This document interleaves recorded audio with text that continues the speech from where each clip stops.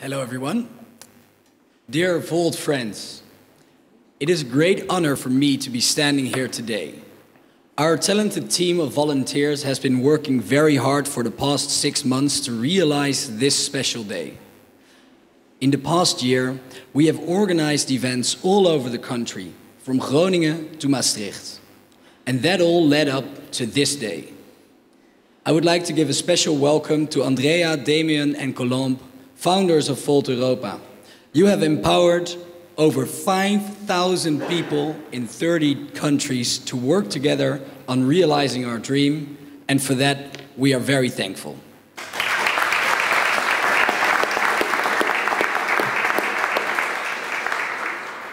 Since we are at the national launch of Volt in Nederland, I will now continue in Dutch.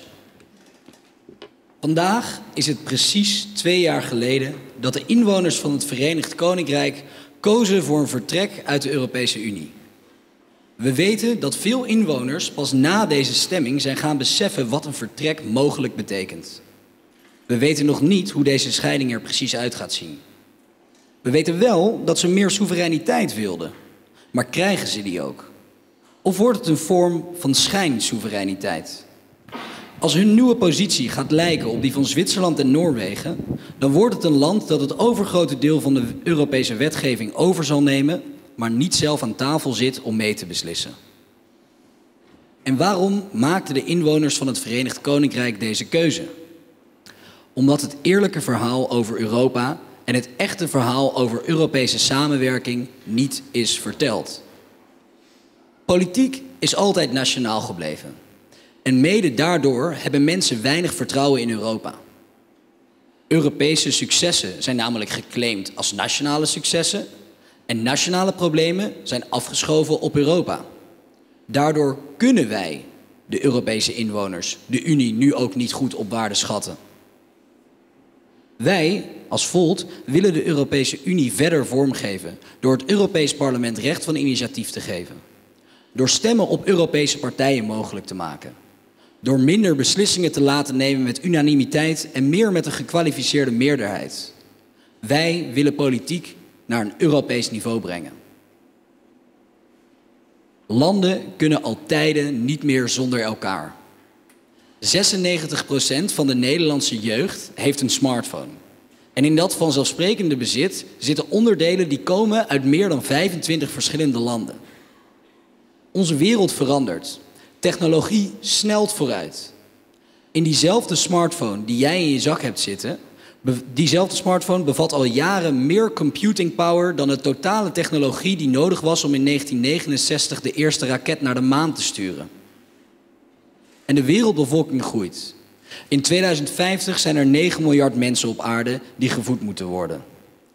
De wereld is zo met elkaar verweven dat het voedsel van jouw ontbijt al snel uit zeven verschillende landen komt en tienduizenden kilometers aflegt voordat het bij jou thuis op je bord ligt. Naast globalisering, technologische vooruitgang en groeiende wereldbevolking is er sprake van verschuiving in de wereldorde. De Verenigde Staten kiezen voor zichzelf, China en andere grootmachten staan op. Deze veranderingen brengen uitdagingen en kansen met zich mee. Uitdagingen als privacy schendingen, massamigratie en groeiende ongelijkheid.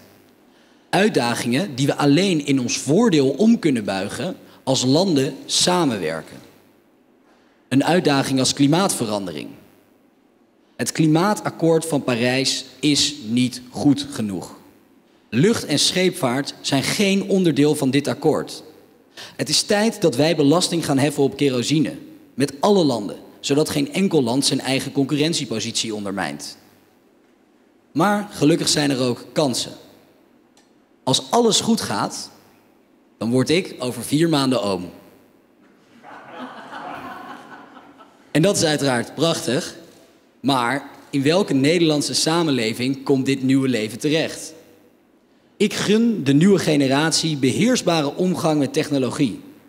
Ik wil dat de nieuwe generatie ruimte heeft om te leren hoe ze muziek spelen en dat ze in alle vrijheid kunnen sporten. Misschien halen we dan in 2042 wel het WK. Wij willen dat deze kinderen niet vanaf hun zesde jaar worden gekanaliseerd in een zogenaamd laag- en hoogopleidingsstelsel, maar een theoretisch en praktisch educatiesysteem. Dat er een beroep wordt gedaan op het verbeeldingsvermogen om hun dromen te kunnen najagen. En dat hun data wordt beschermd en technologie ingezet kan worden om de kwaliteit van leven te bevorderen, waarbij die technologie een middel is en geen doel op zich. Dat is de toekomst die zij verdienen. De toekomst die gerealiseerd kan worden door een effectievere, efficiëntere en slimmere overheid. En dat is de smart state waar wij als Volt voor gaan. In Nederland en in Europa. Dat is de toekomst waar jij en ik allemaal verantwoordelijk voor zijn en waar wij hard voor aan de slag moeten gaan. Het lijkt mij goed om aan te geven waarom ik mezelf hier uitspreek. Ik ben Reinier. Ik ben als jongste van drie jongens geboren in Frankrijk, waar ik de eerste drie jaar van mijn leven doorbracht. Daarna ben ik opgegroeid in Nederland. Sinds drie jaar werk ik voor een supermarkt waar ik ontbijtgranen verkoop. En ik had zes maanden geleden nooit gedacht dat ik hier zou staan om me uit te spreken over onderwerpen die zo complex zijn dat ik denk dat ik ze nooit volledig zal gaan begrijpen. Tot zes maanden geleden was ik nog nooit politiek actief. Maar nu besteed ik al mijn vrije tijd aan Volt. En waarom doe ik dat? Ik ben opgegroeid in een veilige omgeving waarin ik alle kansen heb gekregen om mezelf te ontwikkelen. En naarmate ik ouder word, dringt steeds meer bij mij door dat dit niet vanzelfsprekend is en hoeveel geluk ik daarmee heb gehad. Ik ben uitermate nieuwsgierig en ik hou van verhalen. Vandaar dat ik een voorliefde heb voor geschiedenis en graag lees. Zo las ik boeken over de verschrikkingen van de Eerste en Tweede Wereldoorlog. En die boeken die riepen vragen bij mij op. Zagen mensen dat niet aankomen? Waarom is er niks gedaan om dat te voorkomen? Waren er mensen die diplomatieke oplossingen zochten begin 1914? En zijn er mensen geweest die zich hebben ingezet om de democratie te redden in aanloop naar een oorlog die een spoor van verwoesting achterliet? Maar stel nou dat we dit gedachte-experiment met elkaar doortrekken. Ik heb ongetwijfeld ontzettend veel blinde vlekken. Maar welke zijn dat? En welke veranderingen zie jij in jouw omgeving? Welke problemen kunnen wij nu verwachten in 2018 en de komende jaren? Als ik om mij heen kijk, dan zie ik de Brexit en de opkomst van nationalistische partijen die zichzelf op de eerste plek zetten. Partijen die onze rechtsstaat ondermijnen. Ik zie dat de boventoon in maatschappelijke discussies wordt gevoerd door degenen die het hardst ongenuanceerde onzin roepen over ingewikkelde thema's.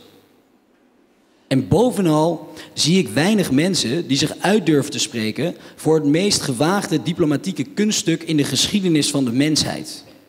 Weinig mensen die dankbaarheid durven, durven tonen voor degenen die de afgelopen 70 jaar voor mensenrechten en Europese samenwerking geknokt hebben.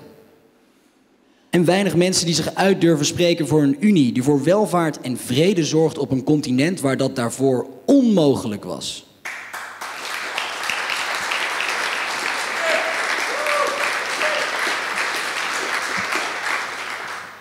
Weinig mensen die zich uit durven spreken voor een project dat staat voor democratie, gelijkheid en vrijheid. Want dat is het eerlijke verhaal dat over Europa verteld moet worden. En dat is het echte verhaal over de Europese samenwerking. Want wat blijkt bij nader onderzoek? Ja, mensen zagen de wereldoorlogen aankomen. Ja, er waren mensen die in 1914 diplomatieke oplossingen zochten. Ja, er waren mensen die eind jaren 30 de democratie probeerden te redden. Maar als, zoals, zoals de geschiedenis ons laat zien, zijn zij daar niet in geslaagd. Wat de toekomst ons brengt, is onzeker. Maar één ding staat vast. Als wij niet met oplossingen komen doordat we angst laten regeren, als de stijgende zeespiegel ons land onder water zet en klimaatverandering mensenlevens gaat kosten, als er oorlogen komen doordat wij steeds verder van elkaar verwijderd raken en een kind stelt ons over 50 jaar de vraag: wat deed jij in die periode? Zag je al die ellende niet aankomen? Waarom heb je eigenlijk niks gedaan om dat te voorkomen? Als wij die vraag over 50 jaar krijgen, dan kunnen wij zeggen dat wij ons uiterste best hebben gedaan om het tegenovergestelde te bewerkstelligen. Dat wij ons in hebben gezet voor vrede en stabiliteit. Dat wij ons in hebben gezet om klimaatverandering binnen de perken te houden. Dat wij zijn opgekomen voor solidariteit, gelijkwaardigheid en vrijheid.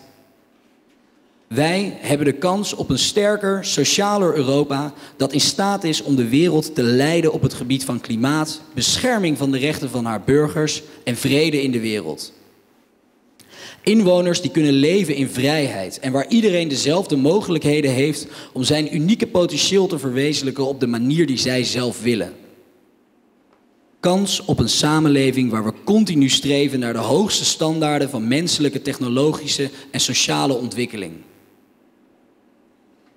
Dit gaat ons allemaal aan en kunnen wij alleen samen bereiken.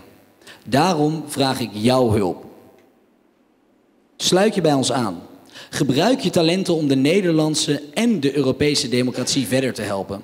Praat met je vrienden over de voordelen van Europese samenwerking. Want dit kan alleen slagen als wij samen onze schouders eronder zetten. En daarom is het tijd om in te zien dat er eenheid in verscheidenheid te vinden is. Is het tijd om in te zien dat we op een keerpunt in de geschiedenis staan. En is het tijd om in te zien dat er een unieke kans voor ons ligt. Dames en heren, het is tijd om Volt Nederland op te richten.